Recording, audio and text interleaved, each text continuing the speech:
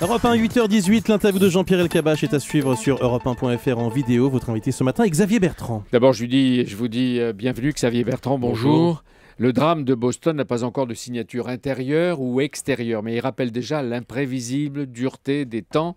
L'Amérique est ce matin une nouvelle fois endeuillée et choquée. Quand on a vu les, les images, quand on a eu l'annonce hier soir, premier, premier mouvement, c'est un mouvement de solidarité avec le peuple américain. On est très proche d'eux, c'est un peuple ami. Et puis il y a aussitôt euh, une réflexion qui vient. Il faut jamais baisser la garde vis-à-vis du terrorisme. Il faut jamais penser que le terrorisme si c'est un acte terroriste extérieur.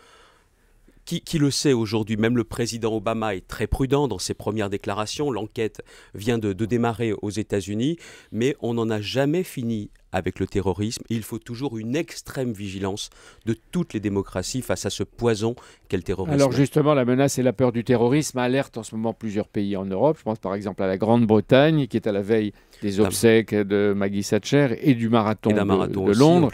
Mais la France active la, la, surveillance Vigipirate. Est-ce que vous donnez raison ce matin au ministre de l'Intérieur Manuel Valls ou est-ce qu'il en fait trop, trop vite? C'est normal de renforcer la protection des Français et la, protection de notre pays.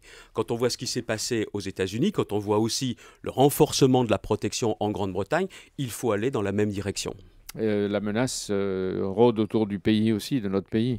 Pas seulement parce qu'on est allé au Mali. Ça, fait, ça fait bien longtemps qu'on voit qu'un certain nombre de, terroristes, de fanatiques s'en prennent aux intérêts français. Il ne faut jamais penser qu'on en a fini avec le terrorisme, je le répète. Transparence, Xavier Bertrand, les gouvernants socialistes donnent l'exemple, vous avez vu. Euh, ils sont désormais sincères, peut-être sincères, et transparents, en tout cas transparents.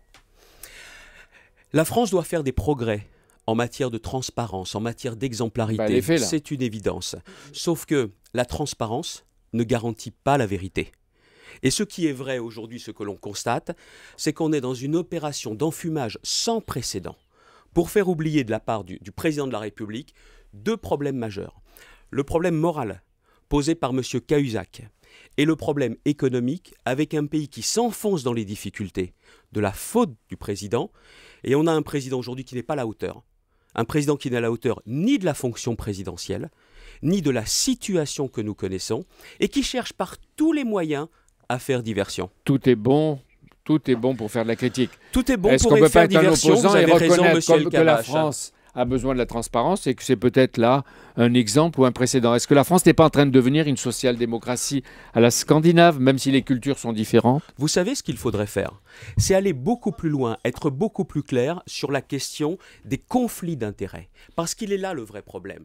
Ce que l'on doit faire n'est pas seulement de savoir ce que possèdent les élus.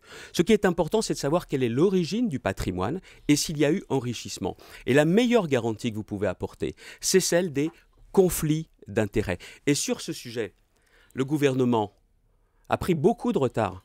La commission Jospin, c'est novembre dernier, nous sommes en avril, qu'est-ce qui s'est passé? Rien. Je vous donne un autre exemple.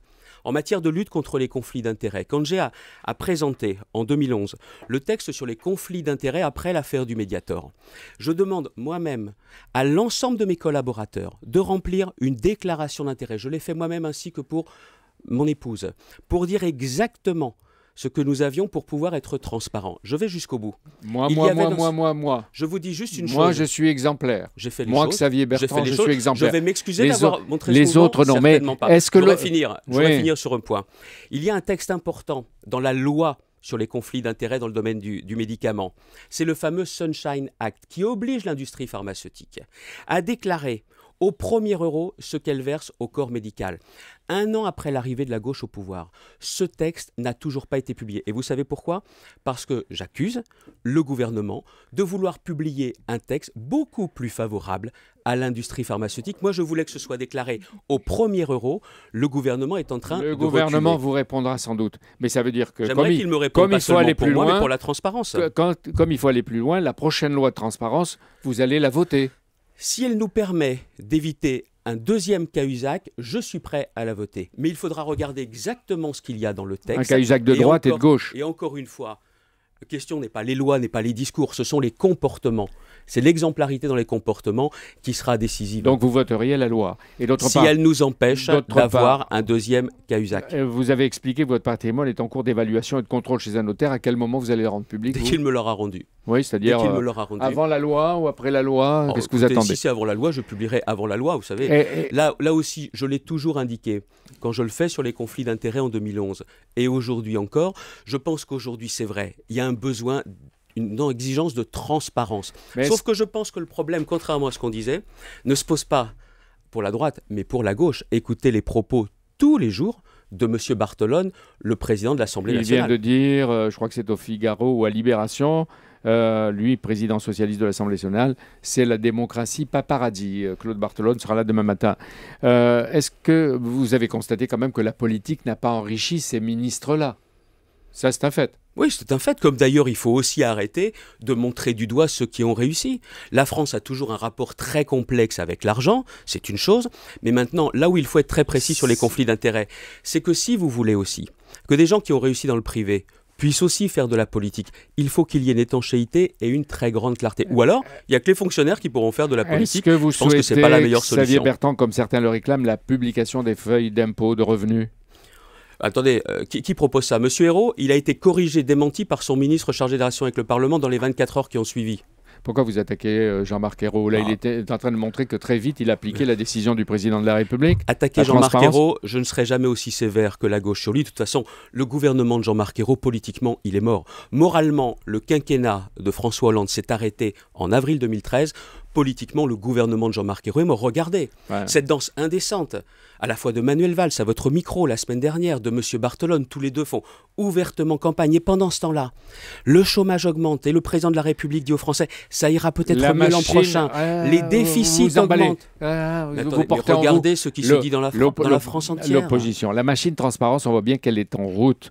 Euh, est-ce qu'il faut supprimer la réserve parlementaire Vous qui êtes. Euh, Mais ce serait une erreur. Et je vais vous dire pourquoi. La réserve parlementaire, ça n'a rien de secret.